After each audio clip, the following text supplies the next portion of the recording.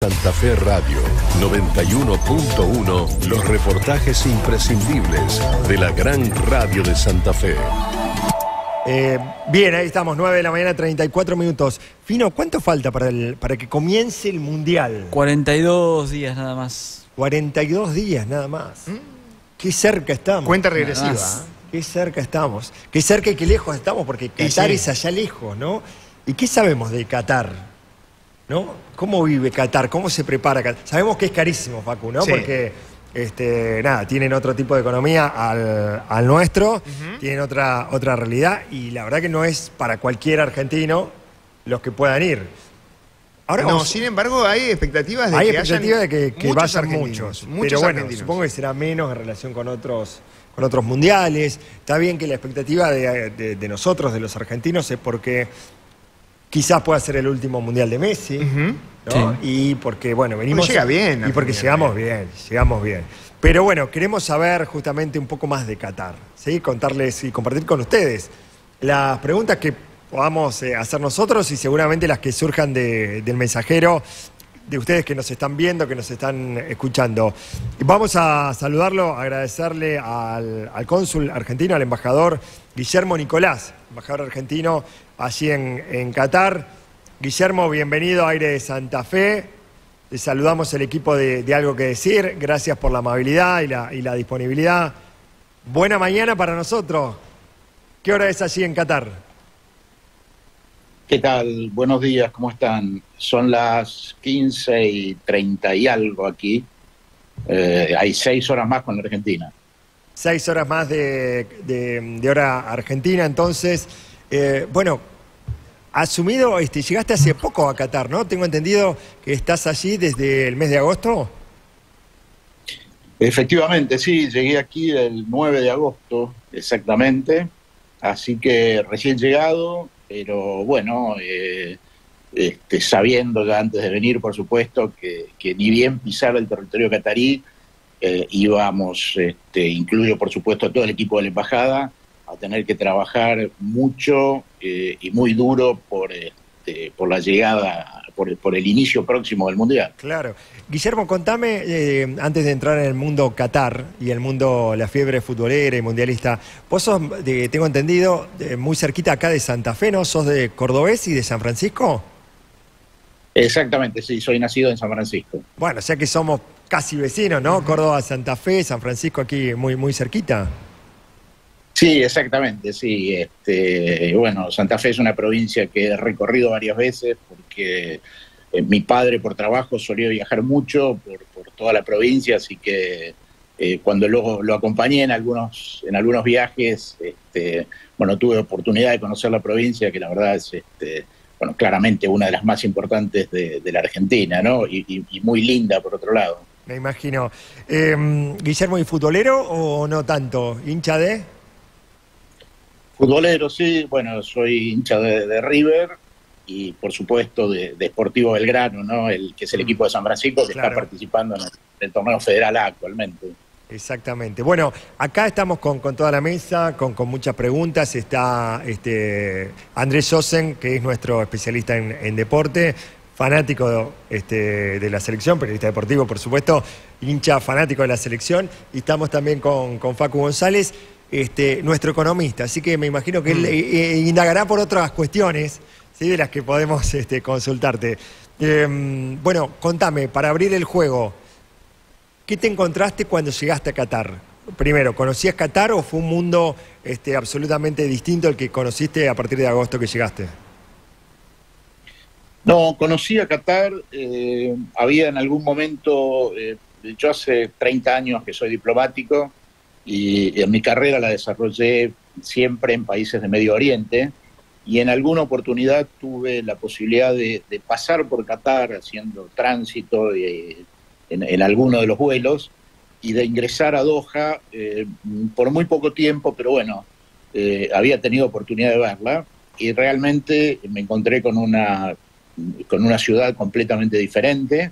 Eh, el- el- la transformación que vivió el país en los últimos años, más específicamente desde que fue anunciada su, este, que había obtenido la, posibilidad de, organizar el Campeonato del Mundo de Fútbol de 2022 ha sido realmente impresionante.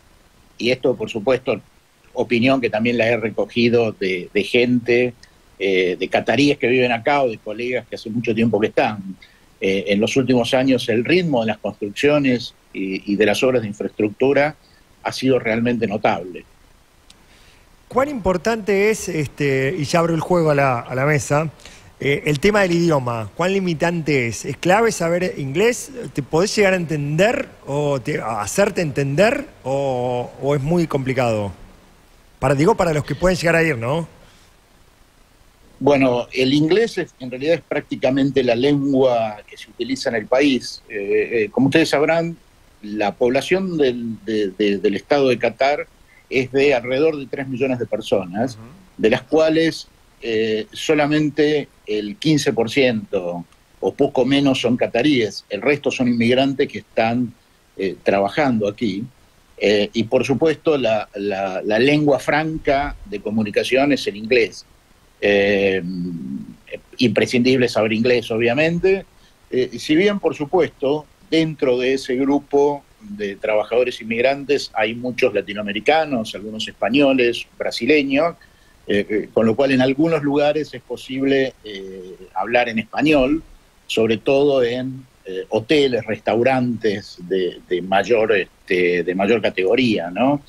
Eh, pero, pero sí, un conocimiento básico del inglés, por supuesto, es, importante. Bien. Facu, abrimos la mesa, dale. me imagino Qatar para muchos, para muchos de nosotros no solamente queda del otro lado del mapa, sino también en usos y costumbres. Va a haber una especie, no sé si choque cultural, pero eh, me imagino cómo se está preparando Qatar para, para, para albergar a tanta cantidad de, gente en una de las citas eh, mundialistas más convocantes, nada más y nada menos que la Copa Mundial de Fútbol. ¿Y qué pasa con eso? Por ejemplo, eh, el hecho de, qué se puede hacer, qué no se puede hacer, lo que está permitido en, Qatar, por ahí tal vez para nosotros la previa antes de un partido, antes de ir a la cancha, y el consumo de bebidas alcohólicas que tal vez no está. este, Contar, me parece, Guillermo, em, cómo es la cultura, eh, porque nosotros venimos de, otra circunstancia, digamos, de otro, eh, de otro tipo de cultura, pero, y, retomando la pregunta que hacía Facu, ¿qué se puede hacer y qué no? ¿Qué está mal visto y qué este, realmente está directamente penado, digamos? Porque son muy exigentes. ¿Esa exigencia se va a sostener durante el Mundial? Bueno, en primer lugar hay que decir que los cataríes son, son muy hospitalarios y están acostumbrados a la interacción con extranjeros. Eh, como les decía, la mano de obra local es prácticamente extranjera aquí. Los cataríes solamente se dedican a muy pocas eh, ocupaciones, que por supuesto en su gran mayoría son eh, en, posiciones importantes dentro de empresas. con lo cual la interacción, el intercambio cultural existe. Dicho esto, por supuesto que sus culturas, sus usos, sus costumbres son eh, diferentes quizás a lo que estamos acostumbrados nosotros. Entonces, lo que estamos sugiriendo, que por supuesto son los es lo que sugieren los organizadores, pero nosotros también como embajadas estamos tratando de transmitir, es que eh, el extranjero que llegue, en este caso me voy a referir a los argentinos, pero por supuesto se aplicaría a cualquier persona, ¿no? de cualquier nacionalidad, es eh, esencialmente respetar eh, esas costumbres que existen aquí en este país. Em, para resumirlo en un par de palabras, se podría decir que el recato es fundamental en varios aspectos.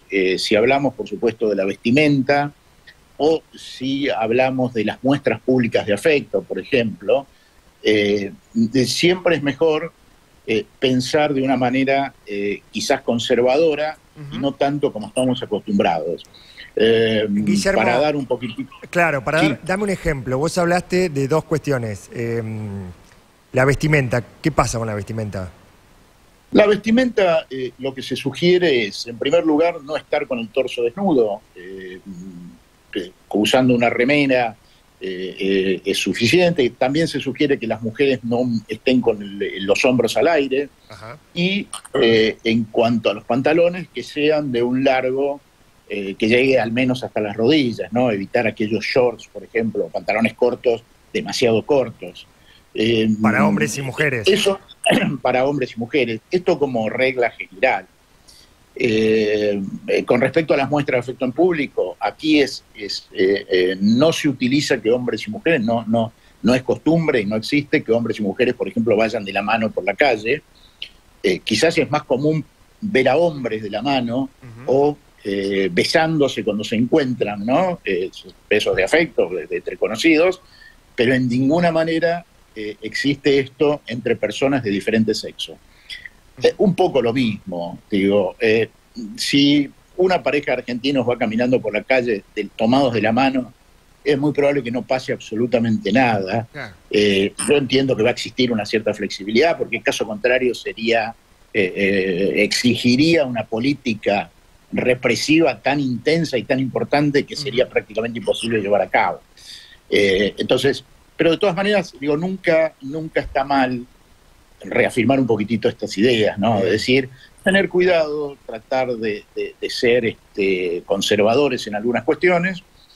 Y después sí, por supuesto, hay algunos aspectos en los que sí son muy estrictos, como por ejemplo en el tema de las drogas. Digo, esto no debería decirse, pero bueno, es evidentemente evidente que el, tanto el tráfico como el consumo de drogas están penados aquí y ahí sí el país es eh, realmente estricto y hay penas que van desde eh, multas que son muy altas hasta eh, cárcel o eventualmente la deportación inmediata.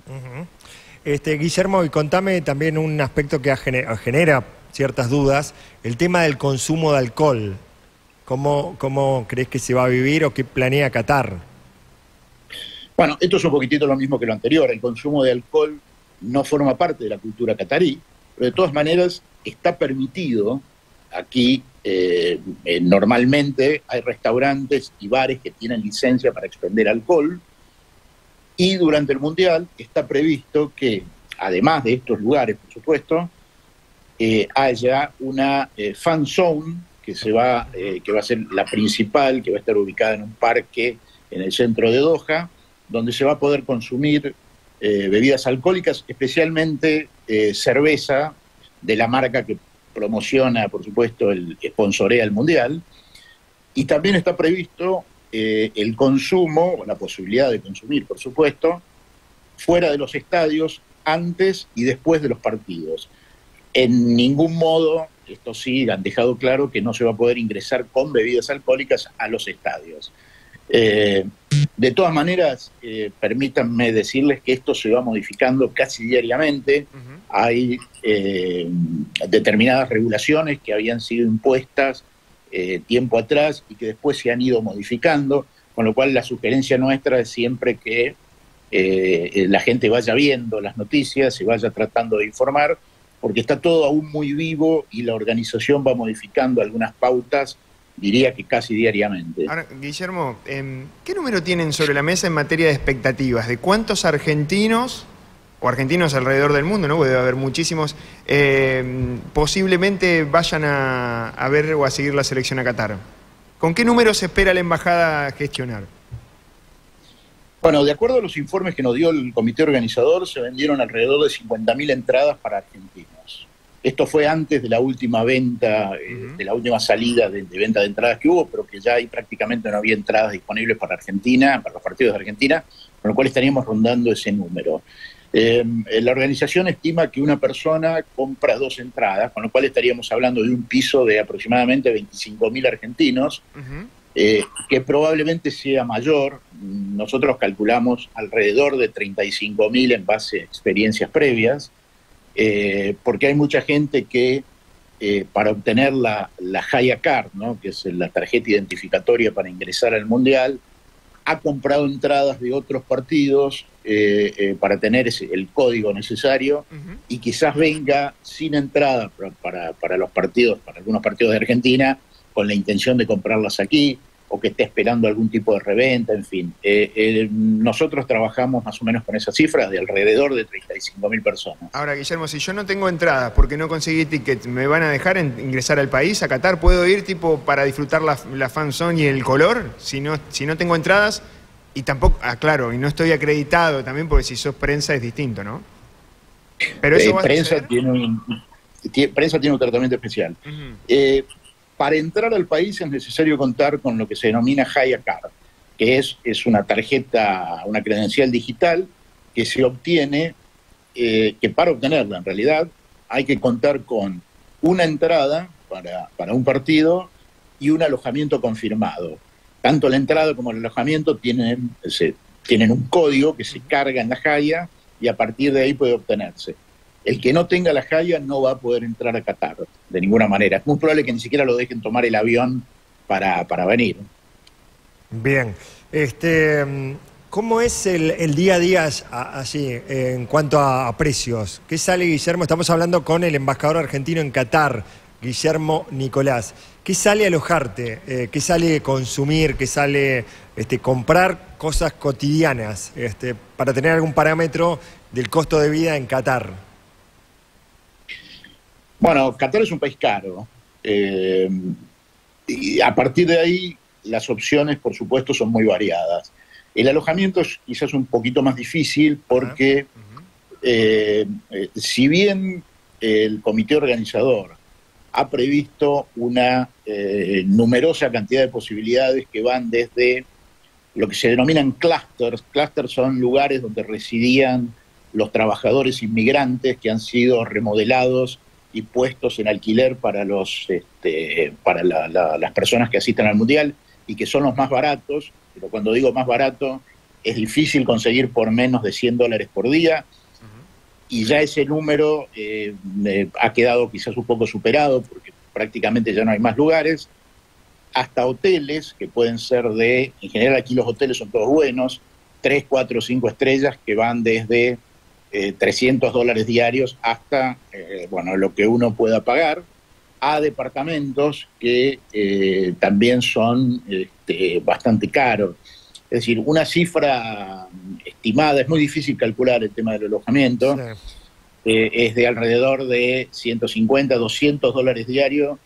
Eh, digo, si uno, si uno llega a poder conseguir a esta altura ya alguno de esos lugares. Claro. Eh, y lo cotidiano, Guillermo, ir a un, a un, mercado, este, comprar algo para, para, para lo diario lo cotidiano? Bueno, y la, la, comida sí puede ser un poquito más fácil, lo mismo sigue siendo caro, por supuesto, pero hay lugares, por ejemplo, para donde habitualmente eh, comen los trabajadores inmigrantes, en la que uno puede conseguir una comida más o menos decente por eh, dos dólares, por ejemplo, o, una cifra más o menos así, eh, hasta, por supuesto, eh, restaurantes que son carísimos, 100, 150 dólares por persona, por comida, eh, y esta sí, eso sí, hay muchísimos eh, mercados, supermercados, mercados más pequeños, ferias pequeñitas, eh, en las que seguro se puede abastecer, pero siempre teniendo en cuenta que, le decía, es un lugar caro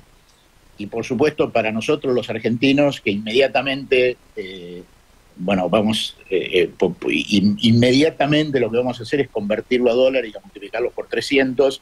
Realmente es, es, este, es, hay muchísima diferencia con los precios que podemos conseguir en, la Argentina.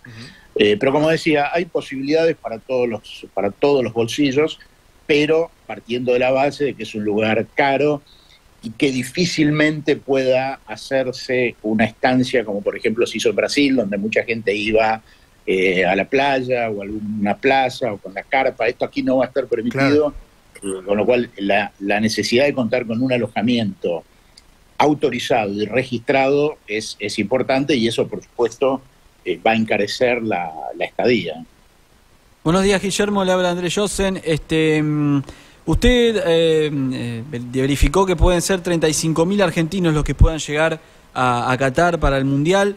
¿Qué recomendación le da más allá de las normas de, seguridad que tiene el país ¿no? y culturales? ¿Qué recomendación inicial le daría a esos argentinos que pueden llegar a venir tanto de, nuestro país ¿no? como los que están en otras partes del mundo?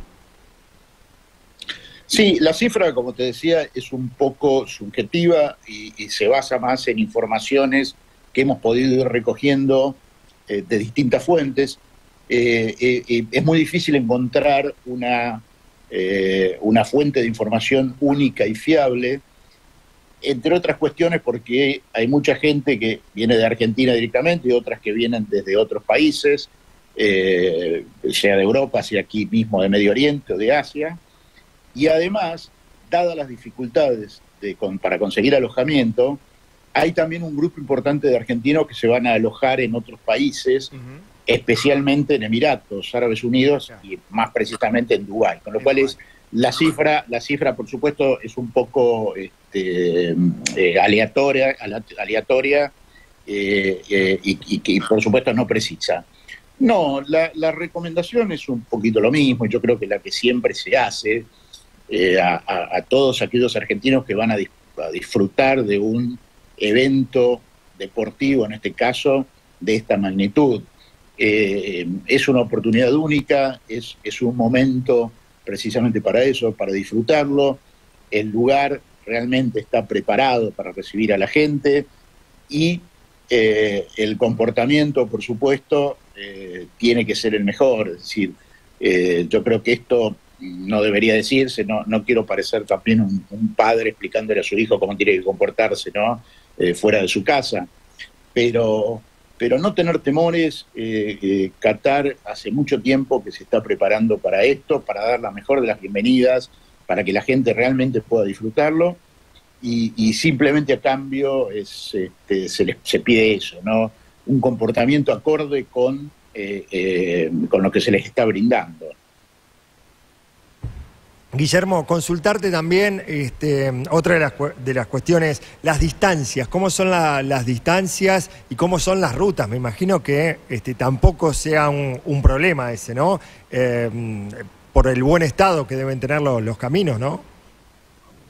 Bueno, yo creo que esa es una de las este, principales características de este mundial, que se va a desarrollar eh, no solamente en un país pequeño, sino en una sola ciudad de los ocho estadios mundialistas, hay siete en, Doha, o seis para ser más preciso, uno apenas saliendo en el norte, que es el estadio de Lusail, donde la, Argentina va a jugar sus dos primeros partidos, pero que está eh, prácticamente en Doha, y hay uno solo que está un poquitito más alejado, cuando digo más alejado es a unos 70 kilómetros menos, 65 kilómetros del centro de la ciudad, eh, eh, con lo cual los desplazamientos van a ser muy fáciles. El sistema de transporte eh, ha sido desarrollado en los últimos años. por supuesto que las carreteras, las autopistas son muy buenas, pero además hay un sistema de metro también nuevo con, con, tres líneas que permiten acceder prácticamente a cualquier lugar de Doha con la combinación de esas líneas sin ningún tipo de problema. Eh, en este caso, como les decía, el estar en una sola ciudad tiene sus ventajas y, una de ellas es esa, ¿no? las distancias y que por otro lado eso quizás también abarate un poco la estadía, al no tener que desplazarse muchos kilómetros a otras ciudades y al tener que permanecer solamente aquí, este, puede resultar un poquitito más barato en, bueno, en este tema específicamente, ¿no? Los desplazamientos. Ahora, eh, Guillermo, eh, Recién estábamos charlando sobre la cantidad de, argentinos que, esperaban ir. ¿Se consigue en Qatar el, eh, el, bife argentino? ¿Llega en materia de exportaciones carne argentina para hacer el asadito o algo así? Obviamente no sé si será usual o no, hay algunos eh, restaurantes. Eh, ¿qué, información hay al respecto? ¿Con qué se va a encontrar el, argentino en lo gastronómico? Por ahí un poquito más de color. Eh, empiezo por la segunda parte de tu pregunta. Eh, la gastronomía es, se pueden, uno puede encontrar realmente lo que, lo que busque. Por supuesto, predominan los restaurantes de comida árabe, comida árabe especialmente eh, libanesa, siria, turca, pero hay, hay una oferta muy amplia de cualquier tipo de gastronomía. con respecto a la, a la carne argentina, se encuentra lo que no hay es carne con hueso, pero sí es posible conseguir en los supermercados eh, bife de chorizo, eh, bife angosto, picaña, etcétera. Con lo cual, eh, un asado, aunque sea de bife de chorizo, está garantizado. Bueno, está bien. Algo a ver. ¿Fino? Sí, destacar si, si la, consultar si la embajada habló con la AFA precisamente por esta cuestión, ¿no? Acostumbra en los mundiales Argentina llevar comida y agua desde el país, pero seguramente va a haber un operativo porque Argentina va a instalarse en la Universidad de Doha. ¿Cómo van las comunicaciones con, el Chiquitapia y también con el cuerpo técnico argentino? Eh, nosotros estamos en comunicación efectivamente con la AFA, no con la selección. Eh, eh, hay gente dentro de la AFA que se ocupa de la logística de la selección. Como vos decís, la, selección argentina, o la AFA en este caso, va a mandar prácticamente todo lo que consuma la selección, con excepción de los productos frescos, los envían desde Argentina. Me refiero a productos frescos con lácteos, frutas y verduras se van a comprar aquí, pero el resto eh, va, a venir desde la Argentina. Estamos en contacto permanente y coordinando el envío que eh, va a empezar a hacerse ahora en los próximos días. Bien, Guillermo. Este, sí, y ese, ese, lugar donde va a estar hospedado este, la selección argentina, ¿cómo es? ¿Qué se puede decir? Bueno, es la Universidad de Qatar, que es un predio eh, realmente enorme, eh, y la selección va a ocupar lo que son los dormitorios de los estudiantes eh, hombres, ¿no? los dormitorios masculinos. Es un, es un edificio eh, que está siendo reacondicionado, está en excelentes condiciones, pero de todas maneras lo están, le están haciendo algunas reformas de acuerdo a lo solicitado por la AFA. La AFA ya visitó el lugar en varias oportunidades eh, están, bueno, este, cambiando el mobiliario, pintando, reacondicionando los lugares comunes, etcétera. Y además cuenta con dos eh, canchas este, de fútbol para práctica eh, que son realmente notables. Digo, yo tuve oportunidad de visitarlas hace pocos días. el césped realmente está en condiciones que yo mm, dudo que haya muchas canchas de primera división en Argentina que tengan el césped como lo tiene eh, como la tienen estas dos este, canchas ¿no? dentro de la universidad, más teniendo en cuenta de que eh, estamos saliendo del verano, eh, ahora se está haciendo unas temperaturas de alrededor de 37, 38 grados, pero un mes atrás, un mes y medio, llegaron a los 50 y el sol es tremendo, pero aún así, como te decía, las canchas están en excelentes condiciones. la gran ventaja que va a tener la, selección argentina es que va a permanecer y entrenar en un complejo cerrado eh, y las canchas están muy cerca, a distancia, se puede hacer caminando, del edificio donde van a estar concentrados, ¿no? Eh, a diferencia de otros equipos que quizás están en hoteles y que tienen que desplazarse para sus prácticas a, otras canchas o estadios, eh, y que eso puede complicarles un poquitito más y que además, por supuesto, exige mayores niveles de seguridad, etcétera, porque seguramente la gente esté rondando los hoteles para ver a los jugadores. Eh, eh, en cambio, lo de, lo de Argentina es, por supuesto, muchísimo más tranquilo, es mucho más relajado el sector, etcétera. Y va a estar junto a la selección de España. España va a ocupar los dormitorios femeninos. Bien, bueno, la última la, hace Facu porque estamos este, ya pasados con, con, el tiempo de, que nos permite la, comunicación. Bueno, Guillermo, y eh, a la hora del bolsillo, allá podemos usar la tarjeta de débito, de crédito, nos manejamos con dólares. ¿Qué, lleva el argentino de, eh, que se dirige a Qatar a ver el Mundial? Bueno, el sistema bancario funciona perfectamente. Eh, por supuesto, el tema de las tarjetas, las tarjetas de débito, habría que verificar con los bancos, en, con cada banco en Argentina, su utilización en el exterior, ¿no? Pero, pero sí, trayendo dólares eh, son muy fáciles, son muy fáciles de cambiar. Eh, eh, se puede cambiar en cualquier lugar, e incluso después, antes de, antes de irse, los mismos reales cataríes pueden ser nuevamente convertidos a dólares con una muy pequeña diferencia de, centavos en la cotización, con lo cual no implica una pérdida ¿no? de, prácticamente de dinero. Pero sí, lo aconsejable es, tarjetas de crédito, por supuesto, son aceptadas, eh, y, dólares o euros, indistintamente, no hay, no hay ningún tipo de problemas para, para cambiarlos a reales. Guillermo, bueno, agradecerte nuevamente por, por la comunicación, por el contacto, la, amabilidad de, esta, de esta conversación. Seguramente no, no sea la última de cara a estos 42 días de que empiece el, Mundial. Aire de Santa Fe, ¿sí? Va, va a tener enviados especiales a la, cobertura del Mundial. Así que bueno, ahí está, está el contacto y, vamos, vamos a, continuarlo durante todas estas semanas. Gracias.